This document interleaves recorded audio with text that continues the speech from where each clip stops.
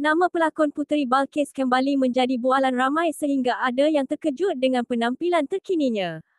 Meskipun ramai yang mengharapkan dirinya yang dahulu, gadis berusia 14 tahun itu berkata tidak mungkin dia akan menjadi seorang gadis ceria dan periang seperti sebelum. Ramai yang mahukan saya jadi seperti dahulu.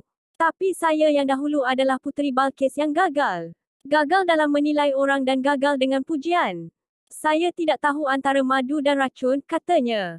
Kata Balkis lagi, dia turut berdepan tekanan perasaan kerana merasakan gagal mempertahankan ibunya apabila ada netizen memfitnah ibunya penagih dadah. Paling saya tertekan sebab saya gagal pertahankan ibu saya. Orang cakap ibu penagih dadah dan gunakan saya untuk cari duit.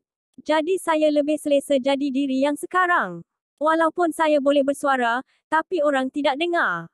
Sekarang saya hendak beritahu bahawa Puteri Baking yang dahulu gagal, katanya. Menurut Balkis lagi, dia lebih kesal apabila dibuli teruk sehingga ada yang mengatakan dia akan membunuh ibunya sendiri suatu hari nanti. Bagaimana saya boleh melakukan perkara itu, bunuh ibu? Ibu satu-satunya insan yang saya ada. Ibu pernah menangis di kaki saya sebab kata dia gagal menjadi seorang ibu yang baik. Sedih bila orang juga tuduh saya yang bukan-bukan. Orang kata saya psycho, tidak terjaya dan tidak terurus. Malah ada juga yang doakan saya mati. Walaupun saya nampak okey, saya masih manusia yang ada hati, katanya.